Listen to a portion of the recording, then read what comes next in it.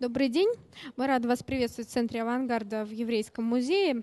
И сегодня у нас состоится вторая лекция из цикла «Ле Корбюзье. Архитектор книги». Это цикл, который приурочен а, к выставке, которая сейчас у нас проходит здесь в музее. Я думаю, что после, после лекции, если вы не были еще, можно будет туда пройти. Вот. И сегодня, так же как и в прошлый раз, лекцию прочитает Борис Фридман, коллекционер, коллекционер книги художника и куратор той выставки, которая сейчас как раз у нас проходит. И действительно, это человек, который знает об этих книгах не понаслышке, а вот даже своими руками их, их к ним прикасался, да. Трогал, трогал, трогал не больше того. Так, добрый день всем. Сегодня больше людей, чем в прошлый раз собралось. Это приятно. Значит, мы сегодня давайте побеседуем. Там название лекции очень громкое. Э, вот, судя по названию, я должен был читать какой-нибудь профессор из Института искусствознания. Вот, я таковым не являюсь. В этом плане у меня очень выигрышная позиция, что, что будет плохо, я могу всегда говорить, что я не, не, это не, не моя профессия, вот поэтому вы меня не осуждайте. Значит, тем не менее, сегодня у нас э, тема лекции немножко, если в прошлый раз она была посвящена полностью выставке, полностью той книге, которая экспонируется в стенах. Выставка на самом деле совершенно уникальная, и я вот очень советую вот знакомым, друзьям сказать, вот рекомендовать посетить ее, потому как такая выставка проходит, ну, у нас-то просто впервые, но это довольно редкое явление, где бы она ни была. Это впервые совершенно уникальной книги гениального архитектора Ле Корбюзье посвящена полностью экспозиции, полностью построена под него. Это, конечно, спасибо музею, потому как это очень редкий случай такого отношения вот, э, к экспонируемому материалу. Но сегодня немножечко о другом вернее, о более общем предмете давайте поговорим. Э, вообще о книге художника, э, что это такое, э, вот почему так названа лекция, что вот книга художника это фактически отражение истории развития графики, графического искусства 20 века. Вроде это громкое заявление, но я с ним абсолютно согласен.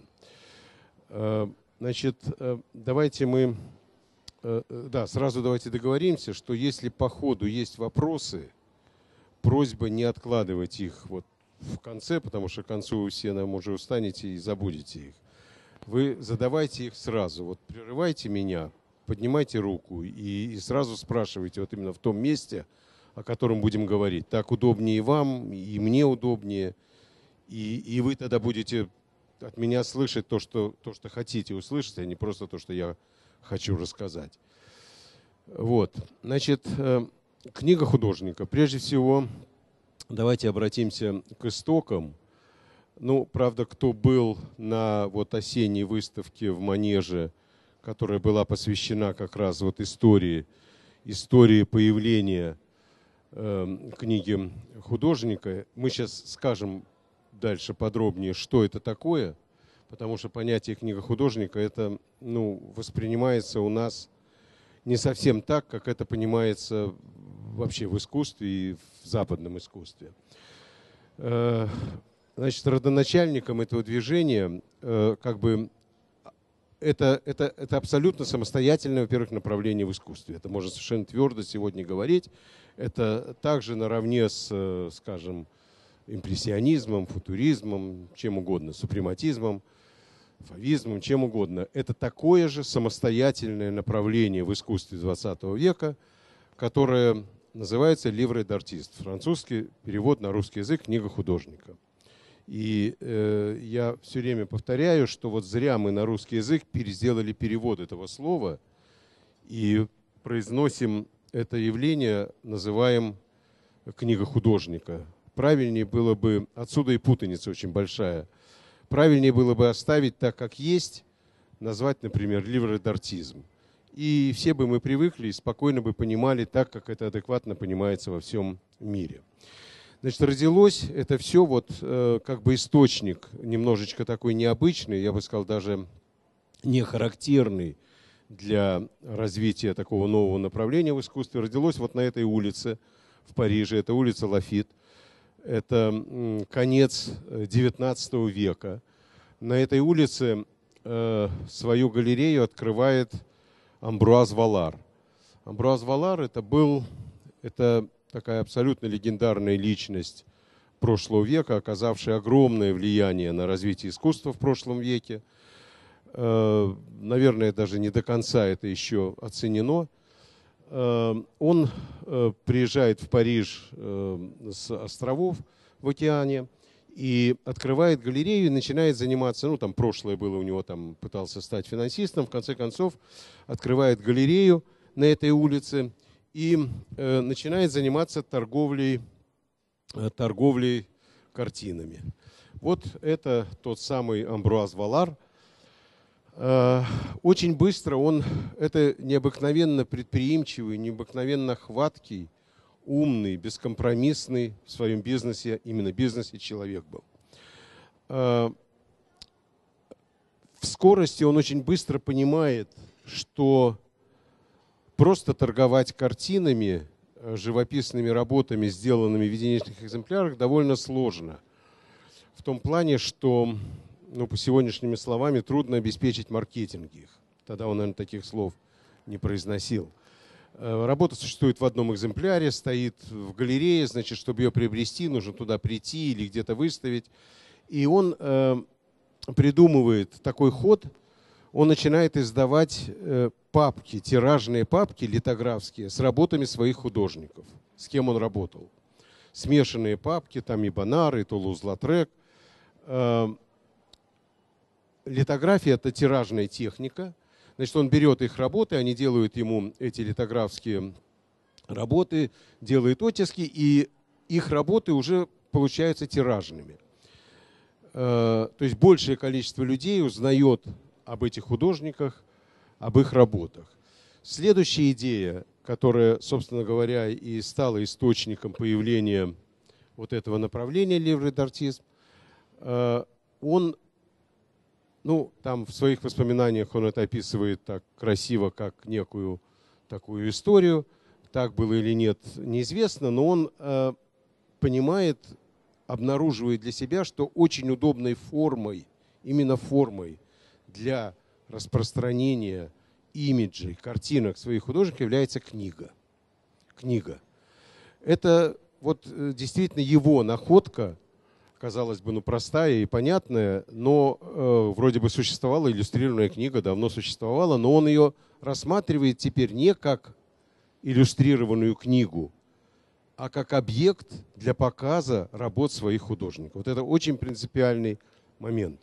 И он э, в 900 году, 900 году издает э, первую книгу с своим художником, одним из своих художников, с кем он много тогда работал, Пьер Бонар, издает первую книгу э, параллельно. Это э, поэма, э, поэма Верлена, э, которую ну, с которой там был некий тоже такая скандальная немножко история. Это поэма о лесбиянках, очень красивая. И он заказывает Бонару цикл иллюстраций литографских. Э, и Бонар изготавливает большое количество э, литографий для этого издания. И Валар издает эту книгу совершенно особым образом. Вот не надо обращать внимание вот на это издание, это, это уже переплетенный вариант этой книги. Это не совсем оригинально, как она была сделана, изображение оригинальное, а вот переплета в оригинале не было. Он издает ее, задавая фактически стандарт, который прижился на протяжении всего 20 века. Стандарт оформления вот такого рода изданий, d'artisme. В чем он заключался? Я покажу это на примере другого издания. Вот э, это другая книжка Дирена э, «Сатирикон». Значит, э, как оформлялись эти книги, начиная, фактически начиная с, Бонара, э, с Валара. Прежде всего, отсюда и определение, вот, что такое ливредартизм, чем она отличается, ливре, ливре, ливредартист, чем отличается просто от иллюстрированной книги. Принципиальное отличие, что все изображения являются оригинальной печатной графикой. Это обязательное условие. То есть или литография, или афорт, или ксилография. Ну или разновидность какая-нибудь афорта. То есть это ни в коем э, разе не э, офсетная печать, не полиграфия. Для этих изданий э, выбираются особые сорта бумаги. Хорошая, качественная бумага. Следующая особенность, они практически никогда не переплетаются. Никогда не переплетаются. Они складываются в блок отдельными листами или текст сложенный, надвое такой тетрадкой, значит, никогда не переплетаются. Складываются они э, вот в такой футляр, который, вот видите, внутри находится, собственно говоря, вот этот блок листов, среди которых находятся иллюстрации, афорты, литографии. Далее обложка внутри и твердая обложка, которая, собственно, обеспечивает сохранность книги, и все это вставляется в футляр. Вот в такой футляр. Эта обложка даже носит свое название «Чимис». Это довольно такой типичный, типовой вариант оформления э, книг художника. Подавляющее большинство изданий – так оформлено. Иногда вместо футляра делается коробка. Там дальше будет одно, одна из книг, так выполненная. Далее мы увидим. Э, эти издания подписываются в конце, обязательно подписываются художником. Э, если здравствует автор, то и автором. Э, иногда издателем. Тиражи, тиражи колеблются в пределах от где-то 50 экземпляров до 300, 300 с небольшим. Вот, собственно говоря, определение, определение вот жанра вот этого, вот какое издание можно, вот если оно отвечает вот набору вот этих требований, то его ну, можно относить э, к категории ливредартизм. Особенностью, начиная с Валара, являлось то, что иллюстрациями занимались не иллюстраторы, не профессиональные иллюстраторы, а художники-живописцы. То есть это были, э, были художники, которых основная деятельность была живопись, графика. В то же время они делали работы вот для таких, для таких изданий. Значит, с его легкой руки э, это направление получило очень большое развитие в прошлом веке. Там есть, наверное, скорее всего, объяснение, почему так произошло. Занимались этим все. Все первые художники, первые скульпторы, даже архитекторы, видите, вот здесь выставка 20 века. Все. Вы практически не назовете мне ни одно имя, почти единицы, которые не создавали работы вот в этом жанре. И еще раз подчеркиваю, основное, для чего это делалось – не для того, чтобы книгу прочитать, не для того, чтобы показать текст, а для того, чтобы показать работы художника. Работы художника. Это, то есть книжная форма, как это не обидно может быть автору э, текста, он использовался просто как э, остов, как вот то, то, с помощью чего представлялись работы художника. Я вот не знаю, насколько удобно вот уже в таком количестве привести. Привожу иногда такой пример, вот чтобы окончательно понять смысл вот этих изданий. Немножко вульгарный, но очень, на мой взгляд, кажется точный. Это как э, на подиуме модель демонстрирует одежду. Вот модель должна быть, она должна отвечать там каким-то требованиям, но главное – это одежда, то, что она показывает. Вот то же самое здесь. Вот роль модели выполняет текст. Текст для того, чтобы показать работы, работы художника.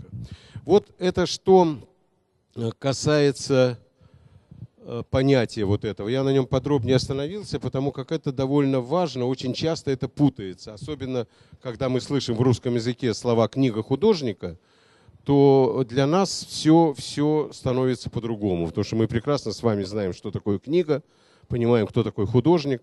И когда совмещаем эти два понятия, на русском языке книга художника, то, ну, как бы любая книга там, любая иллюстрированная книга, как бы это и есть книга художника. А, значит, по каким критериям находили текст? Ну, наверное, это больше все-таки вопрос э, к, э, к издателям, а вот я думаю, что каждый автор согласился бы иметь свою работу, э, с которой иллюстрации, которые сделаны Шагалом, Пикассо, Миро, Дали. Я думаю, что он бы здесь, я думаю, проблемы не было. Очень часто выбирались э, классические тексты, где не надо было спрашивать разрешение автора. В частности, вот, пожалуйста, сатирикон, э, Библия, Э, та же Одиссея, вот сейчас проходит выставка в манеже Одиссеи разных, иллюстрированных художниками. Тоже книга художника, кстати. Вот. Эм, ну вот, вот, собственно говоря, что касается определения этого. Я на нем специально, еще раз говорю, остановился, потому как это нужно отделить. Нужно отделить как самостоятельное направление в искусстве, которое, вообще говоря, э, завершилось где-то, наверное, в 80-х годах. Завершилось это не значит, что больше таких работ не делают. Работ делают. Но оно завершилось как направление, так же, как, скажем, импрессионизм. Вот мы говорим импрессионизм, сразу понимаем определенный отрезок времени, определенные имена. То же самое и здесь. Э, хотя работы в стиле импрессионизма и сегодня можно увидеть, современные художники делают, но под понятием импрессионизм понимается определенное движение, определенное направление.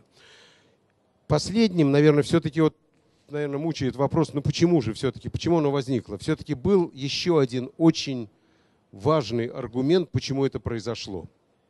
Это произошло, все вот это направление произошло потому, что в начале прошлого века э, создалась совершенно уникальная ситуация – вообще в истории искусства. Я думаю, она единожды произошла и, наверное, больше никогда не повторится.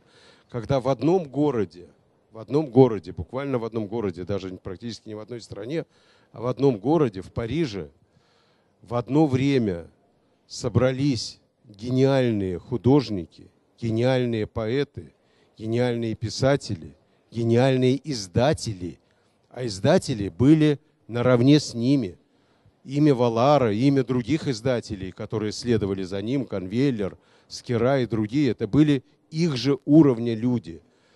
Вот они все собрались в одном месте, они сидели в, одном, в одних кафе, и они все дружили. И многие издания – это были результаты их совместной работы. Вот сейчас мы дальше посмотрим, например, работы Ильи Зданевича, э, другого очень крупного э, значит, Ильи Зданевича, вот представить себе, э, иммигрант из России, ну, из Грузии, в 20 году приезжает, сейчас мы посмотрим тоже его издание, э, приезжает в Париж, и его друзьями становятся Пикассо, Миро, и он делает с ними книги, они вместе собираются, они вместе думают, Шагал.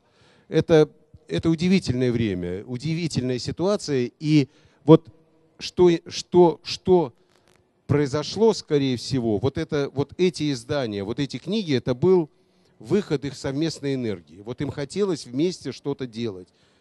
Они каждый занимались своими. Там издатель занимался своим, художник своим, поэт своим. А потом они собирались вместе и говорили, вот давайте сделаем вместе, вот вместе работу. именно это и происходило.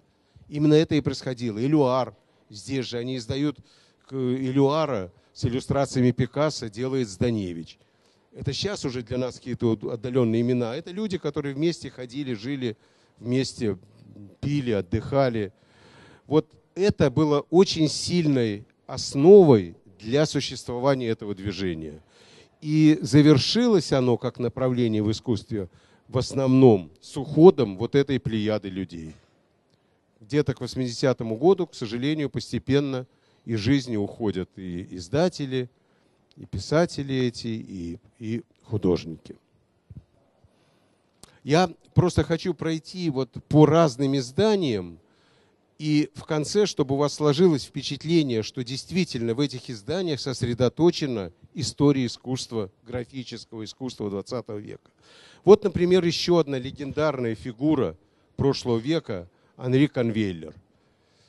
Э, фигура аналогичная Валару. Он, собственно, где-то лет на семь после него начал заниматься тем же, создал свою галерею, э, причем это были не просто издатели, и Валар, и Конвейлер. У них великолепные работы по монографии. Валаром написана первая монография о Сезанне, первая монография о Ренуаре, написана Валаром, вот этим дилером, торговцем. Конвейлер, конвейлер – это э, человек, который, э, который фактически был идеологом формирования кубизма. Вот казалось бы, казалось бы, кубизм, мы знаем имена Пикассо, мы знаем имена Брака. Вот Конвейлер написал первый теоретический труд по э, кубизму. Кстати, вот это ракушки две, это знак его издательства. Это знак издательства, э, видите, HK, Хенри Конвейлер. Это единственное издание, где он выступает под своим именем. У него была очень сложная судьба, очень сложная судьба. Он эмигрировал во Францию из Германии. Э, еврей по национальности. Он страдал, когда в Первую мировую войну вошли немцы. Он страдал во Франции, потом началась Вторая мировая. Он создал три галереи за всю жизнь, все не под своим именем. Это единственное издание, которое вышло под его именем. Издание легендарное, абсолютно. Фактически с этого издания, это работы Пикассо, фактически это первые, первые работы Пикассо в кубизме. Вот это одни из первых, они были в книге. Они были в книге. Вот с этого началось. Конвейлер был одним из таких провокаторов, в хорошем смысле слова, этого движения. Это просто вот изображение из этой редчайшего сегодня издания. Э, вот, э, например, следующее издание, видите, немножко по-другому сделанное – э, уже сюрреализма. Кстати, сюрреализм тоже направление, которое, которое зародилось в книге.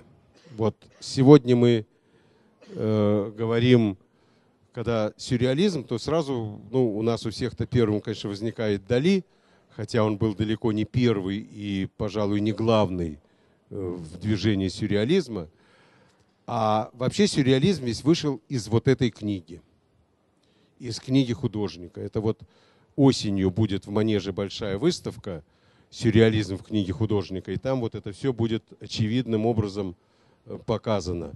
Потому как э, сюрреализм – это вообще движение э, поэзии было. Это первыми занимались, это был круг поэтов, которые были сюрреалисты. Собственно, слово «сюрреализм» – впервые было э, придумано, названо Аполлинером, это не художники. И они пригласили иллюстрировать свои поэтические сборники художника вот как раз в жанре ливре d'артист, как раз вот в стиле оригинальной печатной графики. И первый был Масон, Андре Масон, который как раз конвейлер, вот предыдущий издатель, о котором я говорил, он первым издавал вот эти книжки Масона – Эм, с изображениями сюрреалистов. И вот тоже одно из ранних изданий Декирика, классик тоже сюрреализма, тоже это все графика, печатная графика книги. И, наконец, вот уже всеми нами знакомый и нашей страной любимый Сальвадор Дали, э, значит, э, э, это фактически сюрреализм Дали тоже начался в книге. В 1934 году выходит вот это издание э, «Песни Мальдорора», э, в которые Дали делает 43 афорта. 43 афорта. И вот в тех афортах впервые, фактически впервые в творчестве Дали появляются его потом уже сильно активно эксплуатируемые образы. Вот эти часы, э, плавающие вот часы, э, потом вот эти подпорки, или как вот рогатины такие, которые всегда. Это все, все в первый раз появилось в этом издании, в этих афортах 1934 года. Она будет тоже осенью показана, эта работа, э, на выставке сюрреализма. Э, вот, вот, пожалуйста, это одна из 43 иллюстраций 1934 года. И вот это, видите, вот эти образы, которые потом очень, очень активно были использованы Дали уже в живописных его, его работах. Э, ну, это позднее, позднее издание Дали. Э, его, кстати, мы показывали на выставке в Пушкинском музее. Это «Алиса в стране чудес» довольно знаменитая его книжка. Я ее здесь еще и привел потому, чтобы показать вот еще одну форму. Э, вот мы там видели футляр. Вот, вот, собственно, тоже блок книги, но здесь он уже заключен в коробку. Такая коробка. Вот, собственно говоря, два варианта, эм, два варианта оформления этого рода изданий. Ну вот здесь, это, кстати, титульный, титульный лист Алисы в «Стране чудес» в виде афорта выполненный. Работа 69 -го года. Она довольно уже поздняя. И вот такие цветные э, литографии. Э, да, вот тоже интересно. Это вот, чтобы закончить э, с Дали в, в этом жанре. Хотя он много сделал. Вообще, вообще э, вот чтобы понимать, насколько интенсивно эти художники работали в этом жанре, э, скажем, Шагалом сделано порядка 120 изданий. Представляете, да, цифры? Пикассо порядка 150. Миро 250 изданий. Э, маленькая оговорка. К этому количеству относятся издания, где не только книги, но и журнальные издания, где есть оригинальная печатная графика. Вот, например, э, каталог, полный каталог, полный каталог изданий Шагала. Вот таких каталогов, это такие очень, это великолепные издания, изданные в Швейцарии. Их пять было издано. Патрик Кремер, он здравствующий издатель. Это сын Джеральда Кремера, очень крупного издателя. Э, вот полностью том, посвященный полный перечню книг художника, созданным Шагалом. Все, все до единой книги подробнейшим образом, со всеми изображениями, с расположением страниц. Все. То есть, если, скажем, издания здесь нет, то его не существует. Вот они подробно описаны. Вот такое издание точно есть, абсолютно так же сделанное э, Пикассо. Такой же Миро есть, Масон – и Ханс Ирни, это швейцарский, швейцарский художник. Вообще по этим изданиям есть очень много литературы, самой разной. Самой разной. Вот, например, отдельное издание Пикассо как художник книги. Пикассо как художник книги. Отдельное издание, посвященное только издательски, только вот книжным работам Пикассо. Это очень интересно. Э, это одна из страниц книги Дали. У нее есть такая книга, она показывалась. Это вот кто был в Пушкинском музее год назад на выставке испанских художников, э, то видели эту работу там. Это вот как, знаете, детские, детские книжки, вот домики так вот складываются. Вот Дали сделал в книгу, в книгу три вот такие работы. В книге среди страниц, эта книга «10 рецептов бессмертия». Дали написал такую книгу со своим текстом – он, в отличие от нас, знал рецепты бессмертия. Вот он подробно описал 10 рецептов бессмертия и вложил вот такие вот очень... Книга очень интересная, она была, тоже была, показывалась на выставке. Эм, да, вот это, это интересно. Э, а, ну здесь написано, я хотел спросить, как по-вашему, кто автор этих вот изображений? трудно, трудно предположить, что это Пабло Пикассо. Это э, Пикассо, издание очень значимое, очень важное.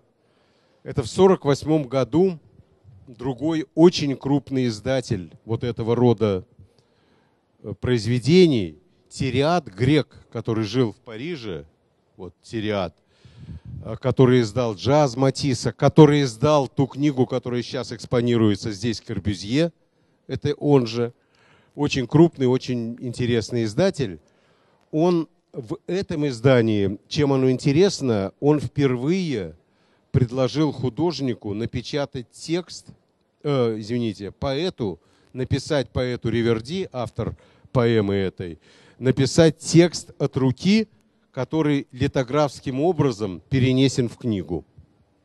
И Пикассо ее разукрашивает вот такими литографскими изображениями. И книга содержит, по-моему, порядка 120 страниц. На каждой странице имеется тот или иной орнамент. Вот такой. Это огромная работа. Вот надо еще не забывать, когда мы говорим, что это как бы завершилось. Вот сегодня я не могу себе представить, просто не могу себе представить, чтобы кто-нибудь из художников такого уровня, а это уже были все состоявшиеся имена, это не начальное творчество поэта, э, художников, отдали времени, это огромные затраты времени, вот сделать такое произведение – отпечатать эти листы. Это нужно делать литографии, камни. А работы еще бывают цветные, это много камней. Это макеты, рукописный текст литографский. Это колоссальная работа. Годы, годы уходили. Есть одно издание «Миро», на которое им было потрачено 15 лет. 15 лет. Адонидес, такая книга. Вот там тоже много иллюстраций, 15 лет. Та книга, которая здесь экспонируется, вот в конце Ле Корбюзье, он затратил 6 лет на создание этой книги. То есть это абсолютно такие очень сложные, очень самостоятельные произведения искусства. Ну, вот здесь я хотел бы немножечко остановиться на этом имени. Зданевич, мы его упомянули, э, совершенно гениальный издатель э, этих книг. Он издал 22 э, книги, но каждая из них является шедевром. Он работал с Пикассо, он сделал 9 книг. Причем получить иллюстрации от Пикассо это было очень непросто. Очень непросто. Он специально почти ни для кого не делал. Зданевич был очень дружен с ним, и для него он делал 9 изданий. Они сделали великолепные издания.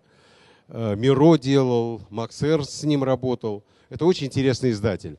Вот это вот это э, первое издание, которое было с Даневичем в 1941 году, вернемся, сделано в Париже с Пикассо. Это книжка «Афат». Она интересна тем, что она была издана в качестве текста.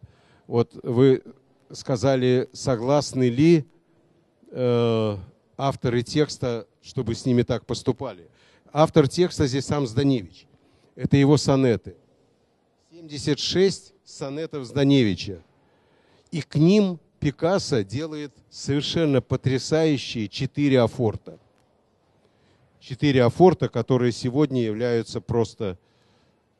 Вот эти четыре афорта, они сделаны Пикассо для этого издания. Для этого издания.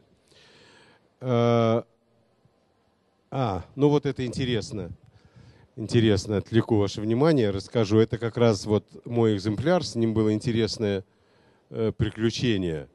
Собственно говоря, это, это эта книга. Это вот Афат, как раз вот эта книга. Когда я ее получил, то я обнаружил на титульном листе, э, на justification page, на странице, которая описывает тираж и подписывается, я обнаружил на ней, значит, подпись Пикассо, но это нормально, это и должно было быть.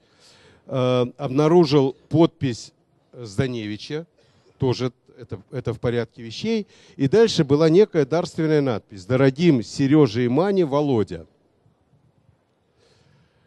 Э, да, внизу этот экземпляр принадлежал Зданевичу. Это был один из трех экземпляров, принадлежавших Зданевичу.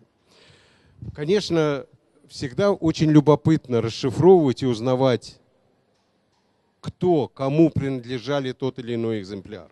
Значит, было понятно, что он принадлежал Зданевичу, но потом некий Володя, значит, его где-то приобрел и по случаю подарил, значит, дорогим Сереже и Мане. Написано русским по белому. И было очень интересно, конечно, узнать. Э, никаких догадок не было, кто эти люди.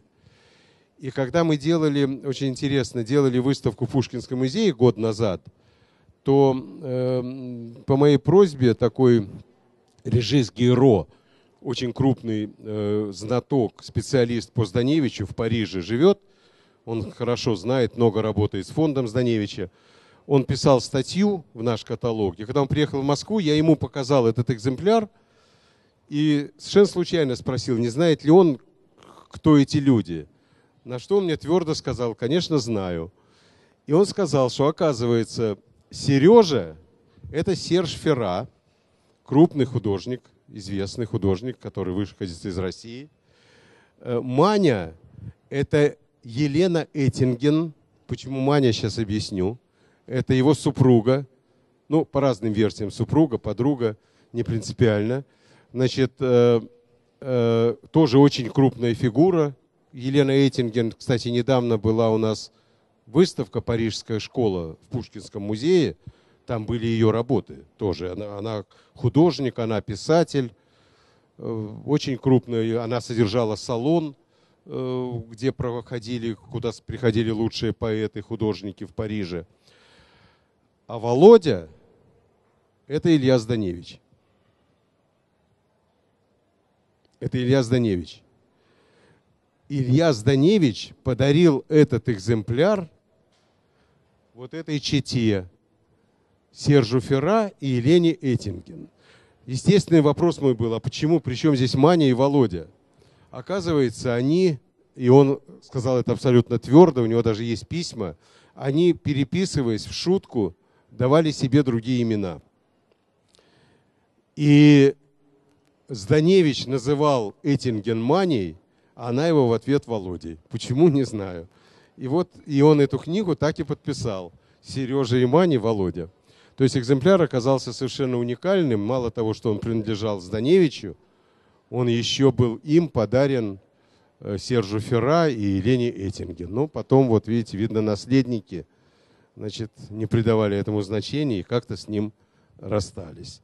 Вот такие всякие истории, это всегда очень интересно, потому как эти все экземпляры, они довольно редкие, они бывают очень, у них судьбы бывают очень интересные. А, надо было мне сразу это сделать. Есть увеличенный вариант вот этой же страницы, видите, да? Да, я зря мучил вас на той. А, вот, кстати, тоже интересно, видите, как как издавались издания. Вот написано оттиснуто. Здесь, к счастью, на русском языке. Как правило, это все на французском. Это французская традиция. И, как правило, все книги на французском. Оттиснуться на ручной Монваль четверку полулиста бумаги. Кстати, очень интересно. Вот эта бумага, вот эта бумага, это придумано и создано Майолем. Майоль, э, Майоль э, тоже среди был скульпторов, который занимался книгой. Майоль тоже, Майоля прекрасные книги были, прекрасные. И, кстати, одна из них, одну из них делал Валар, и она была вот, вот на осенней выставке. Э, Майоль порядка 14 книг издано, очень интересных, с стилографиями. И он придумал для своих книг, он придумал рецепт бумаги которая получила вот это название. Это вот на этой бумаге отпечатано. А дальше, видите, это вот так поступали. Там 50 экземпляров, таких-то 6 именных, там 3 для тех, кто сотрудничал, и 2 узаконенных. Что значит узаконенных, не знаю. Обычно еще какие-то не для продажи делались. Ну вот, вот э, таким образом Э, с этим изданием. Да, вот это очень интересное, очень интересное издание того же Зданевича. Того же Зданевича. Видите? Пиросмани. Это, это тоже уникальная ситуация, абсолютно уникальная ситуация. Эм, вы знаете, что братья Зданевичи это были те люди, которые фактически открыли пиросмани в Тифлисе еще в те э, времена, э, до, до их отъезда и были очень дружны, они были очень дружны с пиросмани. И в 14 году Зданевич написал статью, еще находясь в Тифлисе, о пиросмане. И спустя многие годы, уже в Париже, э, не помню какой год, но, по-моему, начало, ну, можно посмотреть, по-моему, это, это уже ближе к 70-м годам, он да, да, это да, правильно, да, ближе к 70-м, это 73-й год. 73-й год, потому как это чуть ли не последняя подпись Пикассо. Значит, э, Зданевич рассказывает Пикассо о пиросмане. И он издает в память о нем перевод вот той статьи 2014 года в таком издании. Вот это, собственно, эта статья. И Пикассо делает, никогда в жизни не видя, только по рассказам Зданевича, делает афорт портрет пиросмани. Представляете, как интересно, судьбы как переплетаются. Тоже мы мало с вами знаем, что у Пикассо есть портрет пиросмани. Вот так он его видел вот по рассказам, по рассказам Зданевича, Ильи Зданевича. Вот он, собственно говоря. Э, ну, сейчас давайте пойдемте побыстрее, чтобы я вас не утомил. Это еще одно издание Зданевича с э, Миро, очень интересное. Вообще Пиросмань, Зданевич очень любил работать с шрифтами – Видите, какие вещи он делал? Строчка так, строчка горизонтально. Очень красивая книга, в которую Миро, это единственная книга, которую он сделал с Миро в 1974 году, и через год после этого он уходит из жизни, уже умирает Зданевич. Это последняя его работа.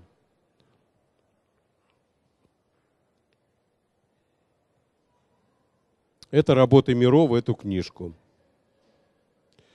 Ну, это быстрее пройдем. Это еще одно издание. Очень красивая книга, по-другому сделанная. Э, литографии Миро, большая, очень красивое издание, более позднее.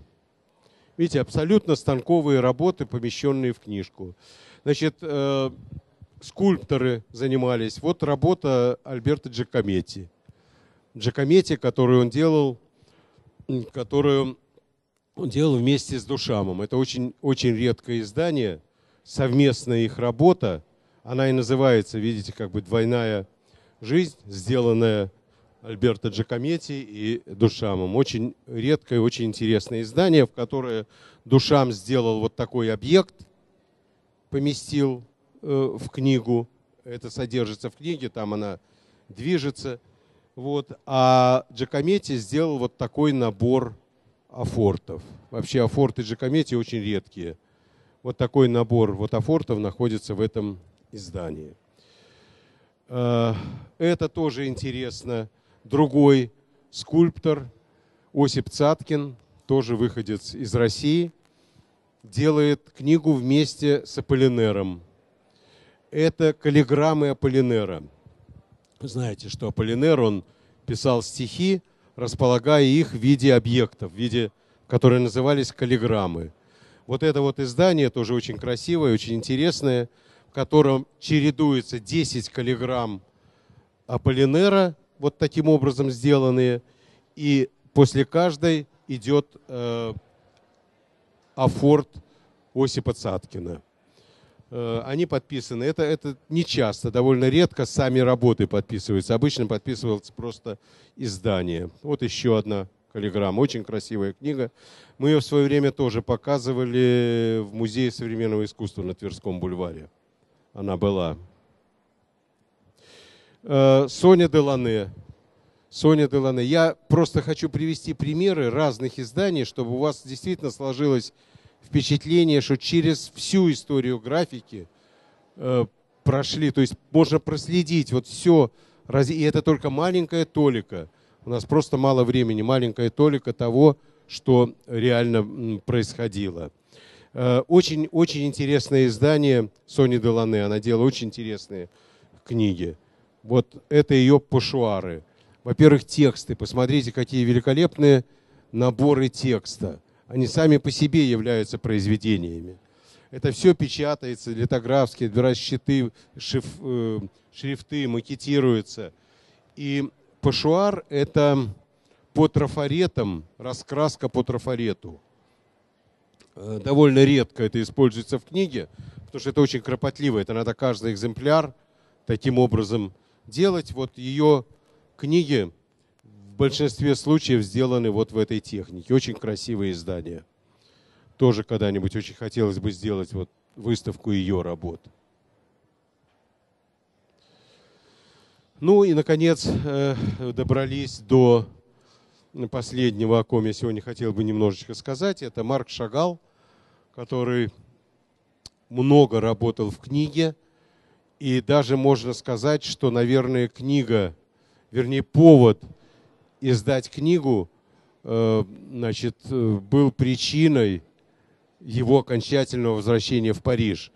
Э, вы помните, что первый раз он был в Париже с 10 по 14 год, потом он приезжает в Россию в 14 году.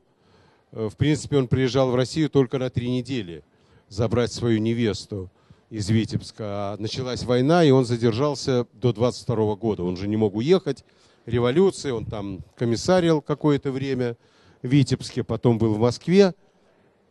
И уже хотел уехать, но было сложно, и уезжает через Вильнюс, уезжает в Берлин. И вообще говоря, он мог остаться в Берлине, потому что там он уже начал работать, там он начал делать свои первые афорты. И вот как раз туда он получает в Берлин письмо от Блеза Сандрара, с которым он познакомился в первый свой приезд. Приезжай в Париж, Валар хочет с тобой сделать книгу. Валар для него было, конечно, абсолютно такое знаковое имя. В своих воспоминаниях «Моя жизнь» э, Шагал пишет, что когда он был первый раз в Париже, он проходил мимо лавки Валара, через окно видел Валара, который переставлял картины, но стеснялся войти туда. И вот, представляете, в 22 году он получает письмо, где Валар приглашает его приехать в Париж, чтобы делать книгу. Он, конечно, все бросает, мчится в Париж, и Валар предлагает ему иллюстрировать эм, русские сказки. Русские сказки, по-моему, Дуракина автор, Дуракина, графиня Дуракина, по-моему. Но это не интересовало Шагала. Он предлагает, что он сделает «Мертвые души» Гоголя. А так как мы с вами понимаем, что издателю было все равно, какой текст, тем более, что я думаю, да почти уверен, что Валар не читал – мертвые души, потому как перевода на французский язык к тому времени не было. Ему было абсолютно все равно. Он, конечно, дал добро. Вот, и это совершенно потрясающая работа, работа Марка Шагала. Он делает 96 совершенно великолепных афортов. Вот на последней выставке как раз в Манеже часть из них были показаны – их, правда, немножко судьба непростая была у этих афортов. Весь тираж, который был отпечатан, Валар убирает на склад и книгу не издает. Книгу не издает. Правда, в 27 году э, Шагал подарил Третьяковской галерее э, полный комплект афортов. Все 96 афортов со своей дарственной надписью «Моя Третьяковская галерея», моей любимой Третьяковской галереи, что-то такое вот русского художника. Но в Третьяковской галерее нету книги. Там есть только набор афортов, потому что в то время книга не была издана. А, а книга была издана уже позже, тем же Тириадом, в 1948 году. Это чест, полудетективная история, как она пережила, как убранные на склад 96 афортов, отпечатанные в количестве 386 экземпляров, представляете, тираж, объем бумаги. Как это все пережило войну, как это все... В 1939 году Валар погиб, и все это осталось на складе лежать у него. И, и вообще судьба его наследия очень непростая. Но иллюстрации Афорты Шагала счастливо пережили это время, попали к Тириаду, и в 1948 году он издает двумя томами роскошное издание – переводит на французский язык «Мертвые души» и двумя томами издает полностью это издание, в котором, в котором располагаются все 96 афортов Шагала. Кстати, такая же судьба э, Валар, убрав на склад мертвые души, тут же заказывает Шагалу сделать басни Лафонтена – Шагал делает 100 афортов к басням Лафонтена. Их ждет та же судьба. Валар их тоже убирает на склад и заказывает ему Библию. И он делает блестящую совершенно работу. Вот это тоже мечта показать когда-нибудь полностью эту Библию. Он делает эту Библию, но он не успевает до конца. В 1939 году погибает Валар. И все три эти издания, все три эти наборы листов доживают до Тириада. И Тириад уже издает все три книги. Они все изданы. И Лафонтен, «Мертвые души», потом Лафонтен в 1952 году и в 1956 э, Библия. Вот это вот имиджи из э, наших любимых мертвых душ Гоголя в прочтении э, Шагала. Почему он не издавал? Э, вы знаете, несколько книг э, постигла такая судьба, не только Шагала. Трудно объяснить, почему. Э, нигде, нигде ни в воспоминаниях ничьих, ни Валара, ни других об этом ничего не говорится. Я думаю, это не только это. Ну, одна из причин, наверное, одна могла быть из причин, переводить надо было. Не было текста. Не было текста наверное, это просто откладывалось. Хотя это не, э, не очень убедительно, наверное, потому как следом был Лафонтен басни, чьи тексты были. Тем не менее, он с ними поступил так же. Кстати, также сатирикон Дирена, то же самое, был издан позже. Э, значит, всего Шагалу, вот в каталоге изданном, вот как раз выставке нашей Валаровской, там 40, 41 издание Шагала а при жизни издано 30. То есть порядка вот 11 изданий, из, им отпечатаны изображения, а изданы они потом. Почему так происходило, не знаю, можно только догадываться. Во всяком случае, точных объяснений этому документальных просто нет. А, ну вот последнее, все, больше не буду мучить. Это более позднее издание, тоже шагала, замечательная совершенно книжка – Луи Арагон написал книгу, полностью посвященную Шагалу. Полностью посвященную Шагалу. Стихи, она, но она хороша, хороша имиджами Шагала. Это такая антология как бы того всего, что он делал. Там очень много цветной афорт, довольно сложный цветной афорт. И несмотря на то, что издание позднее, Шагал вернулся к тем своим любимым имиджам, которые, в общем-то, характерны были больше для 20-х годов, для его российского периода, наиболее ценного. И это издание является такой некой как бы антологией его образов. Он его так и делал. Он его так и делал. Вот, и там завершается, вот просто я показать, все эти издания, он говорил, подписываются обязательно. Вот последняя страница тоже, тоже сказано, какой тираж – каких экземпляров сколько. Видите, вот делали, например, 25 экземпляров, печатали на другой бумаге, на японской бумаге. Э, остальные были на обычной, на друг, ну не обычной, на другой бумаге. Какой-то часть тиража печаталась, даже не определено, видите, сказано просто часть тиража печаталась не для продажи, раздавалась, э, раздавалась тем, кто вносил средства на издание – все экземпляры нумеровались и подписывались. В частности, подпись Арагона и Марка Шагала. Ну, давайте не будем, это можно бесконечно смотреть, бесконечно рассматривать, потому как, как я сказал, изданий существует огромное количество, потому как занимались этим все.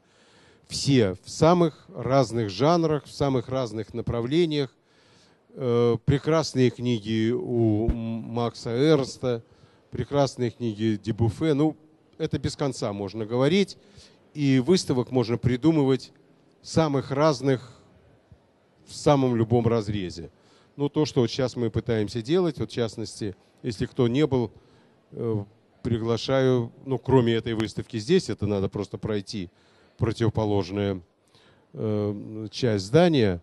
В Манеже сейчас открыта выставка, э, до конца июня она будет, называется «Одиссеи» это другой подход. Э, взято произведение, одно произведение Одиссея Гомера, и показано, как его делали разные художники, четыре художника в разное время.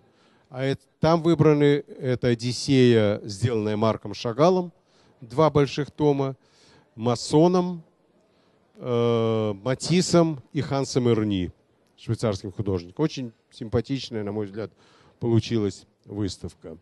Ну вот, наверное, что я хотел сказать, рассказать. Э, вот хотелось бы, чтобы у вас действительно э, складывалось впечатление о том, что вот это направление такое мощное и проходящее через вот весь 20 век, через все направления. Есть книги самые разные. Мы упомянули и сюрреализм, и футуризм, и просто реалистические такие очень изображения.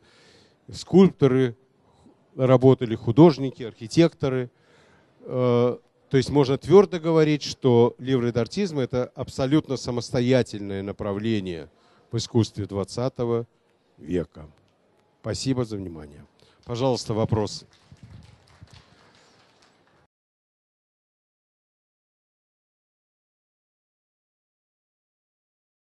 А можно я тогда спрошу? Конечно. А какая первая книга попала в вашу коллекцию? Э, это вопрос, который... У меня есть целый ряд вопросов, на которые у меня заготовлены уже штампованные ответы. Я уже даже сам не верю, что это так было на самом деле. Значит, э, э, на самом деле первая книга была действительно это «Мертвые души» Шагала. Причем тогда я совершенно не думал заниматься собирательством книг. Я как бы я иллюстрированную книгу собирал больше, отечественную. Меня это все интересовало, но мне очень хотелось вот иметь мертвые души Шагала, я как-то встретил ее на выставке. И когда, наконец, эта, значит, бредовая идея была реализована, получилось, то дальше я понял, что это вот то, где сосредоточено все. Вот в этих, в этих изданиях срочено все, сосредоточено абсолютно все. Это и книга, это и высочайшее искусство, это интересно, это понятно, это описано – то есть это очень понятно, чем, чем заниматься. И вот с того времени я практически себе во всем отказал вот в пользу вот этих вот, вот этих вот изданий. Спасибо. Второй быть, любимый вопросы? вопрос, который задают, какая ваша любимая книга? Не задаете? Тогда не буду отвечать. Да. Это почему а? же? Ответьте. Э, да нет, я шучу. На самом деле не может быть любимой книги. Э, любимый человек может быть, а любимой книги, наверное, все-таки не может быть. Это как дети. У вас вот если в семье там несколько детей, у вас есть любимый ребенок? Наверное, нет. Наверное, все дорогие, все любимые. Вот это то же самое. Они просто все интересные, они все важны. Другое дело, что я понимаю, что, например, одно издание более значимо, другое менее значимо. Одно первостепенно, второе второстепенно. Там такими-то набором там подписей, как в книге Зданевича, конечно, бесценное, это уникальное издание. Я это понимаю, но, но не более того. Мне они, естественно, дороги и, и интересны все. Пожалуйста. Да, да, да, конечно, конечно. Значит, вообще судьба их э, в какой-то степени э, дальнейшая не очень понятна. Дело в том, дело в том, что да, появляются они, безусловно, на аукционах, конечно. В книжных магазинах они практически не... В Париже они бывают, но практически нет. Значит, хорошие экземпляры не лежат в книжных магазинах. Просто они туда не попадают. Они действительно попадают на аукционах, хотя это тоже непросто, потому как это кот в мешке. Ты не знаешь, что ты покупаешь, а книга – это сложный очень объект. Там должны быть все страницы, все должно быть на месте, ничего не помято никакой болезни бумаги, что довольно распространено. Бумага заболевает, там желтые пятна появляются, лисьи пятна и другое. Она должна быть в хорошем состоянии, без изъянов. Поэтому это, ну, приобретение этих книг это такой непростой, непростой процесс, конечно, на аукционах. Но есть с ними одна проблема довольно серьезная. Эм, э, вообще раньше всегда, да и сейчас еще пока это два разных мира существуют. Есть мир как бы библиофилов, вот, э, ну, библиофилы все-таки не совсем, скажем, вот собирателей вот этих книг, более книжных людей. И есть такое понятие дилеры, которые занимаются уже искусством, торгуют картинами и прочим. И это, вообще говоря, два параллельных мира, они не соотносятся. Э, но во времени происходило так, что вот эти дилеры оттуда как бы ныряли вниз И из этих изданий брали отдельные листы, заключали в рамы и продавали в своих галереях. И, к сожалению, этот процесс э, по экспоненте набирает силу сейчас. Если вы сейчас пройдете по зарубежным галереям, крупнейшим, самым авторитетным, в Париже, в Нью-Йорке, в Сан-Франциско, где угодно, то из графики, я думаю, минимум 20-30% то, что вы увидите на стенах, это листы из этих книг. Не-не-не. То, что он делал отдельные изображения, это, это отдельно, это Бог с ним. Он делал и делал. А это делали книгу. И если вы из книги вынули один листок и продали, этой книги уже не существует. Обязательно все перенумеровано, подписано, каталогизировано. Каждый экземпляр. И если вы из этой книги, вот из этого конкретного экземпляра, уберете один листик, ну, случае, меня она больше интересовать не будет. И любого другого собирателя. Несмотря на то, что остальные там 50 в ней лежат. Это все равно, что вы возьмете картину, отрежете от нее уголок и скажете, ну, какая разница, остальная часть-то есть. Это то же самое, это цельное произведение. И, к сожалению, этот процесс происходит. Происходит, потому что галеристы активно, я подчеркиваю, активно сегодня просто уже охотятся за этими книгами, потому что продав несколько листов, они продают листы гораздо дороже, чем они стоят, если поделить э, в книге. Гораздо дороже. То есть, продав несколько листов, они окупают все издание. Поэтому, то есть, те тиражи, которые написаны, вот скажем, здесь написано 205 экземпляров вот этой книги – я даю вам стопроцентную гарантию, что сегодня их существует максимум половина. Максимум половина этого тиража, которая осталась в музеях, у собирателей, где-то в семьях, не знаю. Остальная часть вот так разобрана и распродана по отдельности. Это непонятно, чем это завершится. Ну, ничем страшным не завершится. К сожалению, из-за этого растут вот цены, и добывать, как бы находить экземпляры полные довольно становится сложно. Пожалуйста. Конечно, конечно, конечно. Конечно, э, издают, но очень мало. Очень мало. Э, значит, э, в силу трудоемкости процесса. Это очень трудоемкий э, процесс. И э, первые имена этим практически не занимаются. Ну, возьмите, скажем, нашу с вами легенду Илью Кабакова. Да? Когда он был не сильно состоятельным здесь, в России, он прекрасно занимался иллюстрированием книг, просто детских книг, и делал блестящие книжки. Он сделал около ста детских книг, между прочим, причем великолепных. А подойдите вы сегодня к Кабакову и попросите сделать э, книгу художника, вот такую. Это не получится, потому что это надо очень много времени – а результат не будет стоить по стоимости столько, сколько он за это время создаст что-нибудь другое.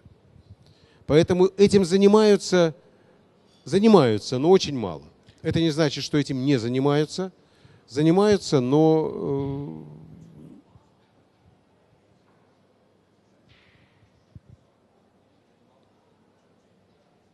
Да, книги стоили очень мало. Я вам больше скажу. Мертвые души Шагала, когда они вышли в 1948 году, Шагал был известный художник. В 1948 году это уже абсолютно состоявшееся имя, прошедшее Америку и прочее. Так вот, мертвые души его продать не могли. Они, они стоили очень дешево, они лежали на прилавке, продать их не могли. Более того, эти издания, многие из них вот того времени, их даже не собирали сразу. Вот тираж делали, там 200 экземпляров – но коробку, футляр и прочее делали первые 20. Продали, еще собирали. Это, ну, просто это другой рынок. А зачем было покупать это, когда рядом висит холст Шагала? Можно было купить холст Шагала. Это, это не было... Ну, печатной графики вообще было отношение это никакое. Ну, кто к принтам, кто 30-40 лет назад, кто обращал внимание вообще на принты? Никто.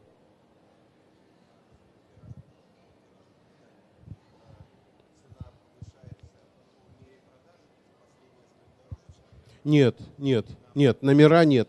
Вопрос, имеет ли значение э, нумерация, там, первые экземпляры дороже последних. Нет, не имеет. Имеет значение другое, что вот как здесь, например, первые 25 сделаны по-другому, сделаны на другой бумаге.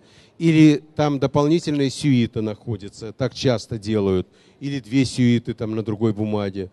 Или по-другому отпечатаны.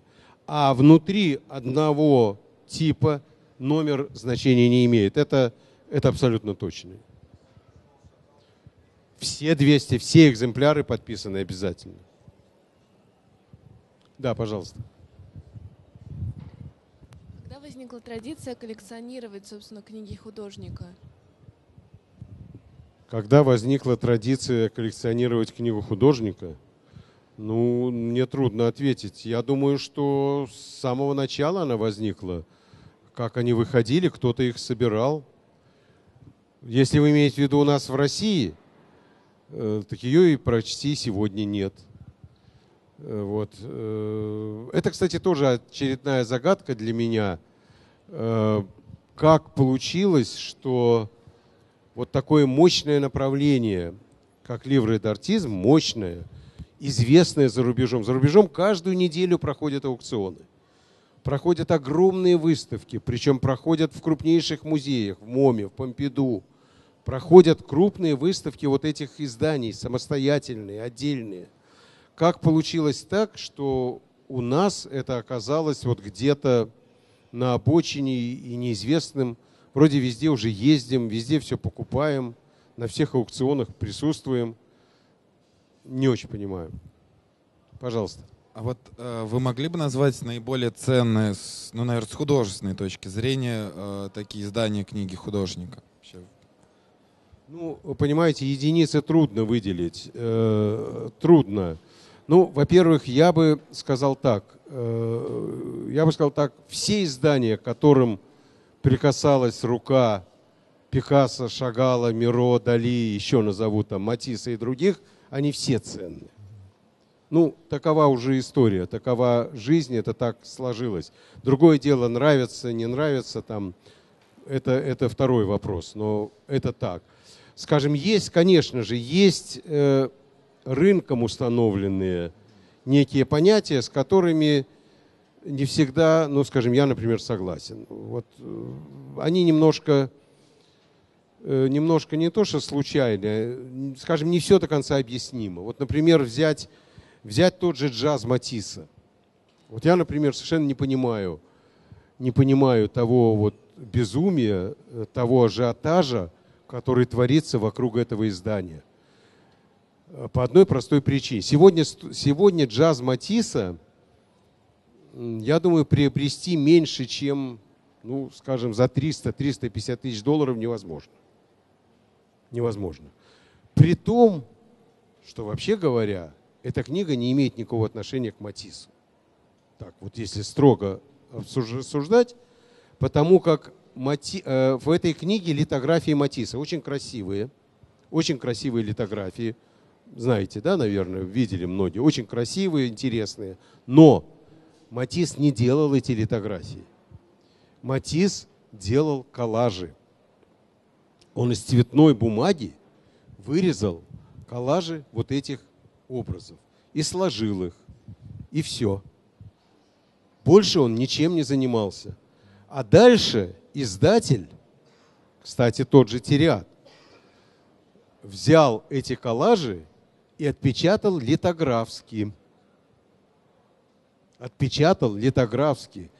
То есть не литографию на камне делал Матис, а взяли коллаж и отпечатали литографски. Правда, Матис подписал эту книгу. И все, когда говорят об этой книге, так э, как-то вот отводят в сторону взгляды, говорят литографии Матисса. Вот молчат. А правильно? Так нельзя говорить. Это нужно э, говорить, что это литографии, выполненные по коллажам Матисса. Нормально, так нормально. Но если так сказать, то ценность ее должна быть раз в 10 меньше. Минимум раз в 10 меньше. Потому как таким образом я могу сегодня издать литографии Рафаэля. Без проблем. Я возьму любую картинку Рафаэля, сделаю литографию и покажу вам.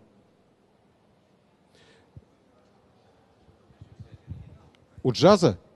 Я не помню точно, ну, где-нибудь 150 экземпляров. Вот можно я тогда спрошу вопрос, который меня давно мучает. Я так понимаю, что границы этого явления четко определены коллекционерами, да, искусствоведами. Тем не менее, а, да, в нашей стране книга художника называется еще отдельное явление, да, которое существует и тоже является предметом коллекционирования. Со времен концептуалистов да, это существует. Вот как, как, как вы проводите границу, да, и насколько вам интересны эти объекты? Вы имеете в виду сегодняшнее издание или футуризм Нет, вот 20-х я имею годов? в виду что? вообще объекты, сделанные художниками, то, что сейчас тоже называется книгой художника, то, Мгм. что делали ну, не знаю, Пригов, начиная с концептуалистов, да, я да, понимаю, э, да. то есть это не литографии, это совершенно другие, другие, это вещи скорее, да? Да, да, да, да, да, да. Э, Значит, вот, э, на- понимаете, вот это та самая путаница, о которой я говорил в самом начале. Это все называют книгой художника. Это все называют книгой художника. Значит, э, в английском языке этот термин перевели как artist book. Но в английском языке, когда произносят artist book, они понимают другое. Они понимают то, о чем вы говорите сейчас. А, а это, если они хотят говорить об этом, они произносят По-французски. слово livre d'artiste. А, Мы же объединили все вместе. Мы все назвали книга художника. Понимаете, мне приходится отвечать, например, на вопрос, а вот у нас футуризм, у нас еще это все придумали в 20-е годы. Футуристы ведь делали, ну да, ну делали, великолепные книжки делали футуристы. Но у них и есть свое название, свое течение. Это книжки футуристов. Футуристов. Ну и что? Ну вот футуристов. Но это никак не вот это. Никак не вот это. То, что сегодня делают, я знаю этих людей, и с многими из них дружу. Это и там и Копы, и Погарский, и, все. Они много работают, но это не ливры d'артизм. Э, Отдельные издания можно по- подвести и под это тоже, если подходить формально. Да, вот текст, вот литография. Ну, ну хорошо, ну, ну значит это это. Понимаете? Я бы, э, ну, я бы не, не, не, вот я бы вот словом левротартизма оставил бы в покое вот это вот все направление и все. А дальше, ну, заниматься и заниматься, чем мы занимаемся сегодня и все. И не мучиться, как это называть. Но вот эти объекты вы не собираете? Или они тоже объекты Это пройденный этап. Пройденный этап. Я собирал, и много у меня есть этих книжек тоже, того же ГОП. У нас есть прекрасные книги, сделанные в таком же формате. Ну, например, э, там мы его уже, может, имя не очень знаем, такой Олег Дергачев, он уехал в Канаду, блестящий художник. У него совершенно блестящая книжка, созданная по всем канонам, притчи Кавки с литографиями. Просто абсолютно достойнейшая. Ну, ну вот он сделал вот такую книгу. Ну и что? Также, как я говорю, э, картину в стиле там супрематизма Эдик Штейнберг, пожалуйста, покойный художник, много работ делал в стиле супрематизма. Ну и что? Это не значит, что супрематизм сегодня существует как направление в искусстве. Понимаете, э, чтобы быть направлением в искусстве, оно должно быть новым. Ведь что такое направление в искусстве? Это появление чего-то нового. Оно живет какое-то время, и вот, вот время, пока мы к нему привыкнем и признаем его, наверное, новым, как движение. А дальше, ну, можем работать в этом направлении, никто не мешает. Но останется оно вот тем, так же, как осталось э, вот все те направления, так же, как, на мой взгляд, вот живет и жанр ливре d'артизм. Спасибо. Да, пожалуйста. Да, скажите, пожалуйста, как вы формируете свою коллекцию вот сейчас, когда она уже достаточно обширна, да? То есть по какому принципу вы покупаете? Как что я делаю? По какому принципу покупаете? То есть вот сейчас вот следующая покупка будет по какому принципу? То, что очень По хочется, какому по принципу? Ну как, я более-менее знаю, знаю, чего, что есть, что, что еще хорошо бы приобрести. В первую очередь думаю о том, где взять деньги, чтобы это приобрести. И когда вот это появляется где-то и есть возможность купить, я вот это делаю и все. Нет, здесь трудно. Как- какой принцип? Вот такой принцип. Это же довольно случайное явление. Это Ну- не то, что все лежит на прилавке, а вот мне надо по какому-то принципу обойти этот прилавок и там ага. взять то, что меня интересует. Нет, ну, допустим, вас там не хватает какой-то книги для того, чтобы полностью сформировать да. коллекцию там того-то, да? да? По этому принципу. Или просто вам просто очень хочется, ну, вот эмоционально, там, как вот чувственно, да, э, желание. Вот ну, без, без всяких Нет, аргументов. Я понимаю вот вопрос. Очень захотелось. Да, вот как, как это происходит сейчас уже? Ну, я еще раз говорю, э, в принципе, эти издания довольно точно описаны, все описаны. И можно ничего не собирать и все об этом знать. Понимаете, можно ничего не делать. Вот достаточно взять там энное количество каталогов и все себе представлять. Ну вот, более-менее стараюсь быть в курсе того, что происходит. Теперь, скажем, если появляется возможность, вот, конечно, довольно случайный процесс того, что появляется, но сам факт приобретения, он не случайен. То есть не просто все подряд, что появляется, оно представляет интерес. Ну, так, наверное. Нет, нет, такой идеи нет.